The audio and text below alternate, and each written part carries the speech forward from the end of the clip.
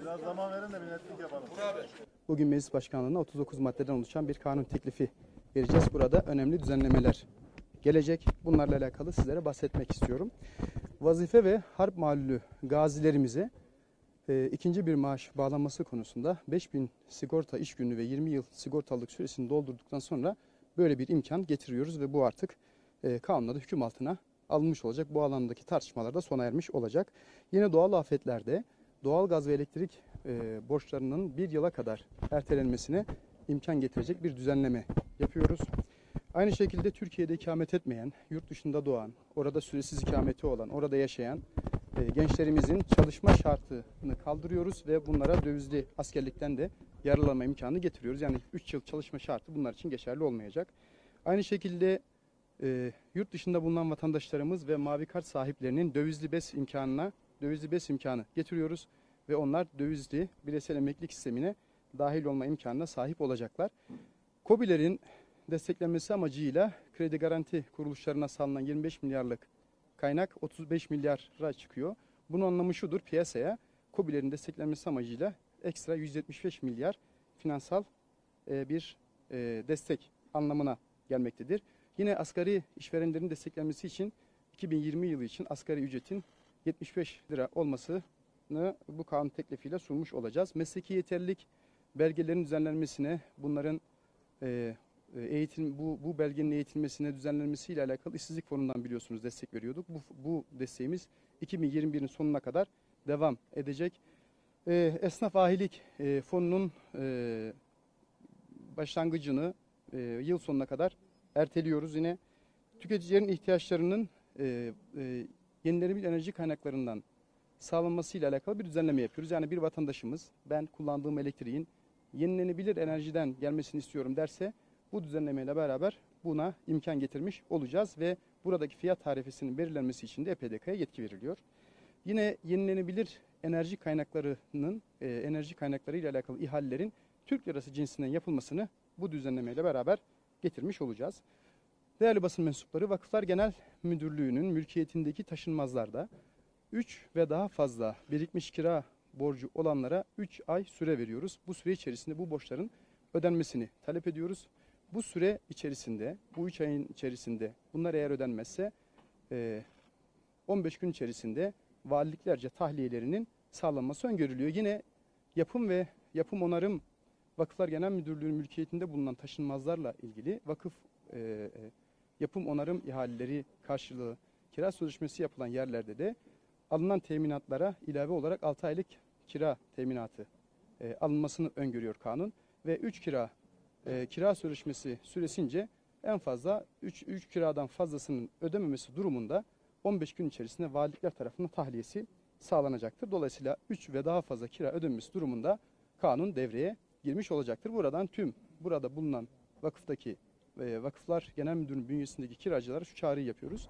3 aylık süre içerisinde borçlarını ödesinler. Ee, ve bundan sonraki süreçte düzenli bir şekilde vakıfların vakıf mülkiyetindeki vakıf mülkiyetindeki taşınmazlara e, herhangi bir e, borç bırakmasınlar. Çünkü vakıflar biliyorsunuz bize emanet. E, bunların vakıf senetleri var. Bu taşınmazların vakfiyeleri var. Bir amaç için bunlar kurulmuşlar ve maalesef böyle bir sorunla karşı karşıya kaldığımız için bu düzenlemeyi yapmak durumunda kaldık. Derneklere üye olma ve e, üyelikten ayrılma ile alakalı bunların bildirilmesini zorunlu hale getiriyoruz ve vatandaşlarımız e-devlet üzerinden hangi derneğe üye olduklarını, ayrıldıklarını buradan takip edebilme imkanına sahip olacaklar. İllegal bahis ve şans oyunlarını katalog suçları alıyoruz ve BTK Başkanı'na resen bunları kapatma yetkisi e, bu düzenleme ile getirmiş olacağız.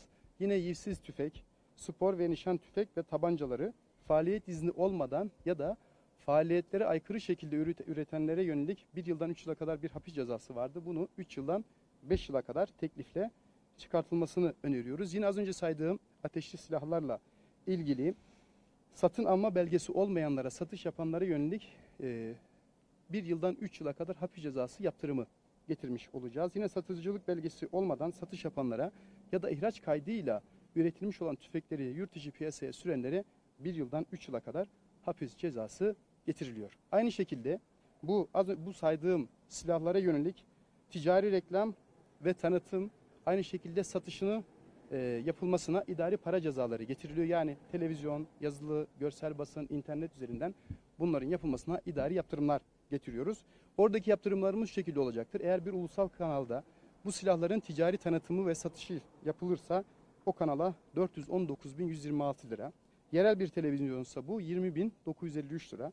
Ulusal süreli yayın ise 209.563 lira. Yerel bir yayınsa süreli bu rakam 10.476 lira. Ulusal radyo ise 104.781 lira. Ee, Eğer yerel bir radyoda bu tanıtım ve reklam faaliyetleri yapılıyorsa 10.475 lira.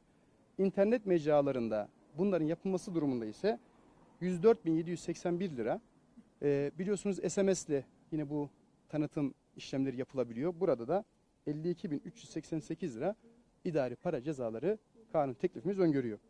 Aynı şekilde buradaki düzenlemelerin diğer kanun düzenlemelerinde olduğu gibi meclisimizden ümidimiz hızlı bir şekilde yasalaşmasını, sağlanmasını temenni ediyoruz. Bundan sonraki karar komisyon üyelerinin ve Türkiye Büyük Millet Meclisi Genel Kurulu'nundur.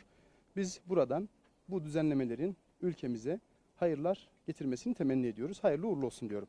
Tabii bunun hangi mihraklar tarafından ne şekilde çıkarıldığını bilemiyorum. Ama bildiğim bir şey var. Bunu deneyenler 15 Temmuz'da gereken cevabı aldılar. Şimdi alacaklardır. Bakın Türkiye ne zaman istikametini büyümeden yana, istikrarını oluşturup ekonomik büyümeye, Türkiye ivme kazanmaya başlarsa maalesef bu tip söylemler, bu tip girişimler, söylemlerin ötesinde bazen girişimleri de bunlar varabiliyor 15 Temmuz'da olduğu gibi karşılaşıyoruz. Ama hiçbir şekilde milletten aldığımız iradeyi başka şekilde devretme niyetimiz yoktur. Milletimiz bize görevde kalma yetkisini verdiği müddetçe ülkemize hizmet etmeye devam edeceğiz. Bunu planlayanlar, bu düşüncede olanlara da akıllarını başlarına almalarını tavsiye ederim. Milletimiz 15 Temmuz'da gereken cevabı nasıl verdiyse yine aynı şekilde verir. Tabii buranın bunların bir de Eko Türkiye'nin ekonomik büyümesinin biliyorsunuz bu yıl inşallah %5'i aşacak e, gelen veriler onu gösteriyor. Faizlerde ciddi bir düşüş oldu. Cari bütçemiz Ocak ayın içerisinde 20 milyardan fazla verdi. Ekonomik göstergelerimiz iyi noktada gidiyorken, sanayi üretimimiz artıyorken maalesef bu tip haberlerle, bu tip söylentilerle, bu tip bazı açıklamalarla karşı karşıya muhatap kalıyoruz. Ama dediğim gibi Türkiye yolundan ayrılmayacaktır. Emin adımlarla yoluna devam edecektir. Ee, bugün İsmail Ok daha önce de başka bir milletvekili Parti'den istifa etti. Ee, açıklamayı ben de gördüm. Ee, burada HDP ile işbirliğine vurgu yapmış İsmail Bey. Biz bunu yerel seçimlerden önce ifade etmiştik. Yani CHP bir taraftan İyi Parti ile resmi bir ittifak yapmışken diğer taraftan e, HDP ile bir ittifak içerisinde e, o dönemde bunlar yalanlanmıştı. Ama geldiğimiz noktada bunlar artık net bir şekilde görülür hale gelmiş ve İyi Parti içerisinde bu noktada hassasiyeti olan milletvekilleri buna tepki göstermekte ve İyi Parti'ye oy veren vatandaşlarımız da buna tepki göstermekte ve bir rahatsızlık var. HDP işi öyle bir noktaya getirdi ki geçen hafta takip etmişsinizdir. Artık PKK'ya PKK'ya PKK demeyi vaz, e, geçtiler. Silahlı Kürt muhalif grubu bu noktaya kadar varmış vaziyette. Ve CHP bu noktada herhangi bir geri adım atmıyor. HDP ile olan işbirliğini sürdürmek istiyor ve aynı şekilde diğer tarafında da İyi Parti'yi tutmak istiyor. Dolayısıyla bunlar İyi Parti içerisinde ciddi rahatsızlıklar oluşturulduğu, oluşturduğu kamuoyuna yansıyan açıklamalarda görünmektedir. Ee, biz bunu e, çok daha önce ifade etmiştik. Hatırlarsınız 2019 bütçe müzakerelerinde 2018'in Aralık ayı içerisinde bunları dile getirdiğimiz zaman karşı karşıya kaldığımız tavır hakaretti. Ama gelinen noktada maalesef böyle bir tablo söz konusu. Ben hem İyi Parti'ye oy veren vatandaşlarımız hem buradaki siyasilerin, içeride görev yapanların bu noktada değerlendirmelerini, e, değer, kendi değerlendirmelerini yapacaklardır diye düşünüyorum. Biriken vakıfların vakıfların biriken hayli bir alacağı söz konusu ve maalesef burada bulunan kiracılar çeşitli yollarla bunu ötelemenin ve ödememenin e, yollarını arıyorlar. Genel hukuk genel hukuk mekanizması içerisinde. Az önce de söyledim bunlar bizim hassas olduğumuz yerler. E, bu vakıflar bize emanet. Bunu vakfeden insanlar, rahmeti rahmana kavuşmuş insanlar ve şu an hayatta değiller ama e, onların bu hayratları, bu vakıfları vakıf senedine uygun şekilde Vakıflar Genel Müdürlüğü tarafından değerlendirilmekte. Dolayısıyla böyle bir hassasiyetimiz söz konusu. Ben buradan sizlerin aracılığıyla bir aracılığınıza bir kez daha söylüyorum. Bu kanun yürürlüğe girdiği andan itibaren 3 aylık süre vereceğiz. 3 aylık süre içerisinde 3 ya da daha fazla kira borcu birikmiş onlar bunun tamamını ödemeleri halinde sürüşmeleri feshedilmiş sayılacak ve valilikler tarafından tahliye edilecekler. Bundan sonra da bundan sonraki düz- uygulamalarda da 3 ve daha fazla kira ödenmemesi, öden, ödenmemesi durumunda asla taviz verilmeyecek ve buralar tahliye edilecektir.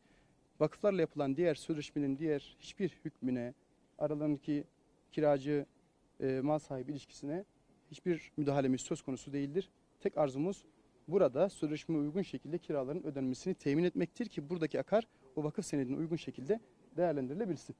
Teşekkür ediyorum. Değerli arkadaşlar bu İş Bankası meselesiyle alakalı hukukçularımız gerekli değerlendirmeyi yapıyorlar. Ben sizlere değerlendirmelerini yetiştikçe bilgi vermeye çalışıyorum. Şu anda aynısını yapıyorum. Dolayısıyla netleştikçe, olgunlaştıkça sizlerle e, bu anlamda bilgi paylaşımında bulunacağız. Diğer meseleyle alakalı çeşitli tartışmalar var. FETÖ'nün siyasi ayağı vesaire meseleleriyle alakalı. Değerli arkadaşlar, e, biz AK Parti hükümetleri olarak şimdiye kadar FETÖ ile en çetin mücadeleyi veren bir iktidarız. 17-25 darbe girişiminden sonra e, çok ciddi şekilde bu yapıyla mücadele içerisine girilmiştir. Terör örgütü ilan edilmiştir. Devletin ilgili kurumları gereken adımları atmışlardır. Biz bu dönemde bu mücadeleyi veriyorken bu mücadeleyi veriyorken maalesef az önce söylediklerinizi dillendiren ana muhalefet bunların kanallarının kapatılmaması için mücadele etti. Buraya genel başkanlarının talimatıyla milletvekillerinin gönderildiğini, milletvekillerinin bizatihi kendileri ifade ettiler. Niçin gittiler bu kanallara? Kendilerini siper ettiler. Bankaların önünde kendilerini siper ettiler.